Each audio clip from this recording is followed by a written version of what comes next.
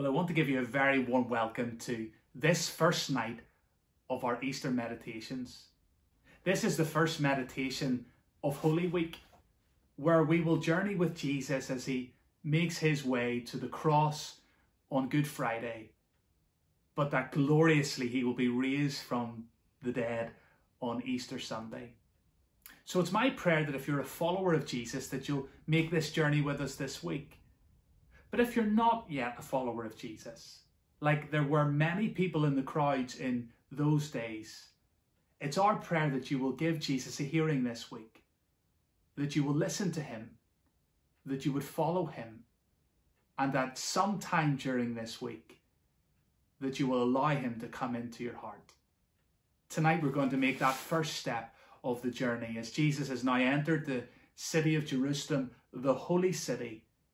Jesus, as he clears the temple on this Monday evening, is going to reveal to us more of his glory, more of his holiness, and more of who he is.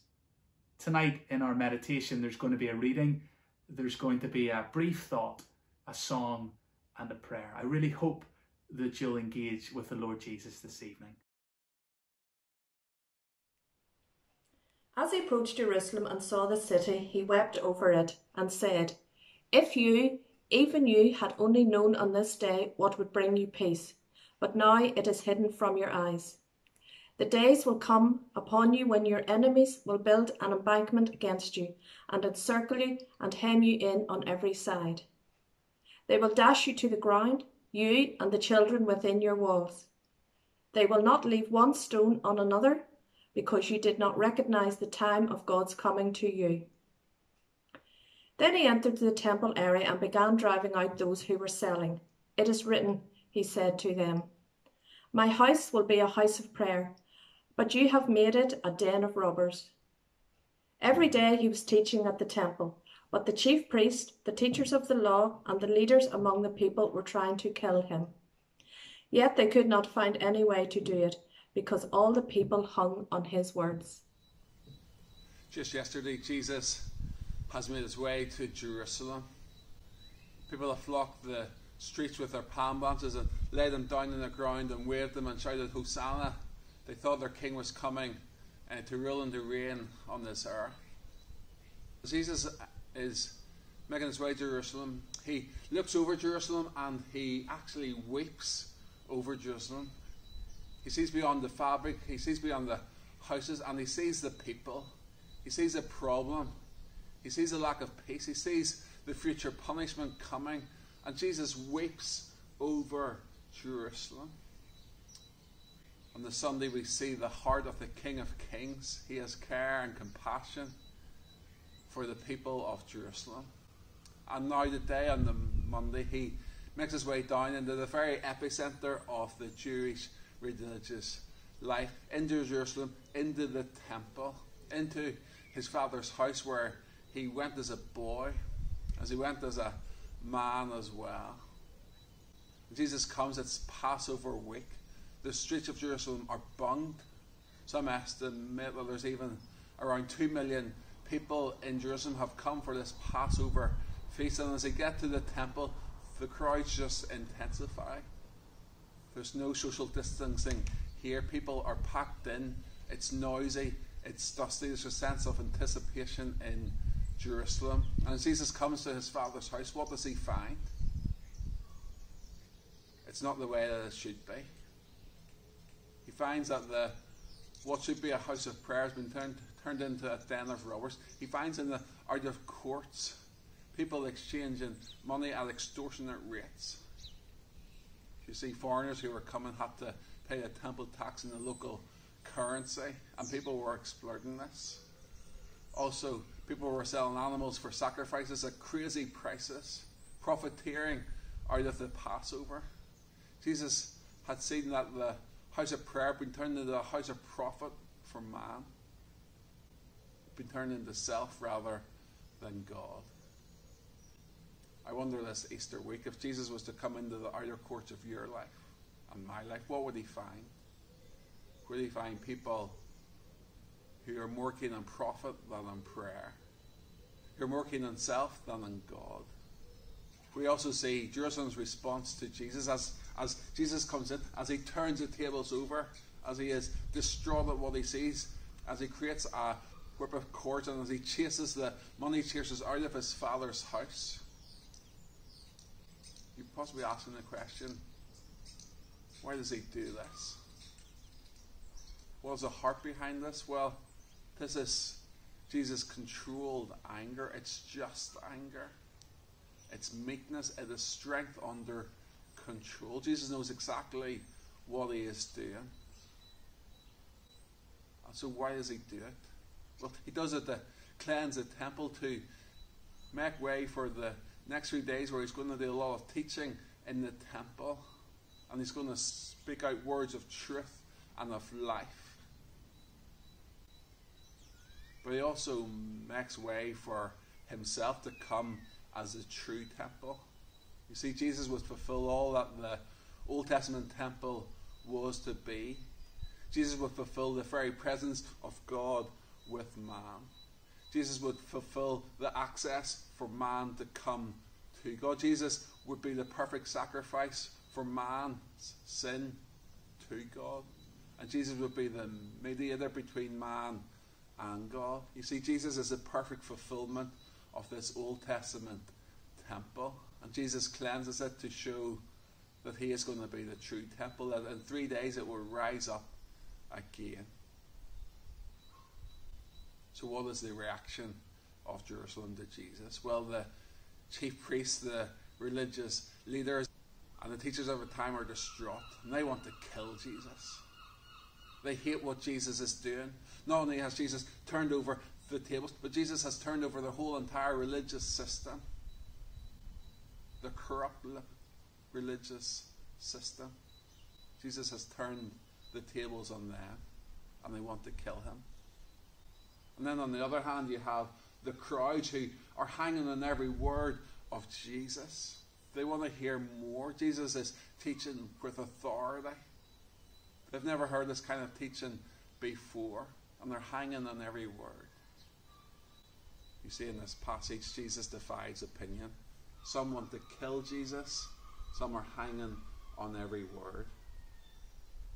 See, Jesus always defies opinion, doesn't he? Even today, there are those who want nothing to do with Jesus, who want to kill Jesus, and there are those who hang on every word, who want to live for Jesus. I wonder today, where are you?